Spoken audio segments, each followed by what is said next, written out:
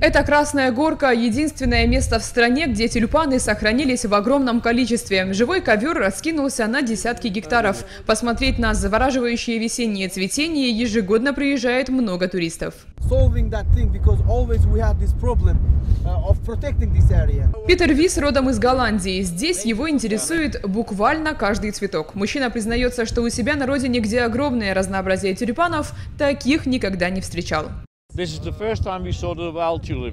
Я первый раз вижу такие дикие тюльпаны, очень красивые. У нас в Голландии есть большие поля с тюльпанами, но они не такие. Если верить истории, нам их привезли из Турции. В этом году из-за долгой и прохладной погоды краснокнижных тюльпанов значительно меньше, чем обычно, говорят специалисты. Но окунуться в атмосферу цветущей весенней природы все-таки можно. Увы, народная любовь порой бывает плачевной не только для цветов. Қолыңызға қызғалдақ қай жерден жұлдыңыз өзіңіз осы жерден жұлып алдыңыз ғой иә? Иә иә.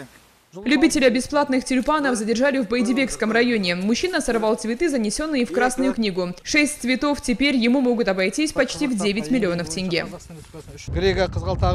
В Красную книгу Казахстана занесены 34 вида тюльпанов, в том числе и наши тюльпаны Грейга. За срыв цветов предусмотрена строгая уголовная ответственность. Также предусматривается наказание в виде штрафа в размере до 3000 МРП. На полях, утопающих в цветах, полицейские теперь прогуливаются часто и не только потому, что тронуты такой красотой. Специалисты уверены, людям надо разъяснять, что эти цветы рвать нельзя. Тюльпаны Грейга даже в вазе с водой проживут чуть больше часа, а на месте сорванного цветка еще лет 10 не появится новый.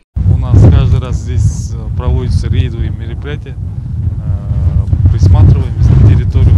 Здесь пост поставить официально э, в ближайшее время чтобы смотреть эту территорию.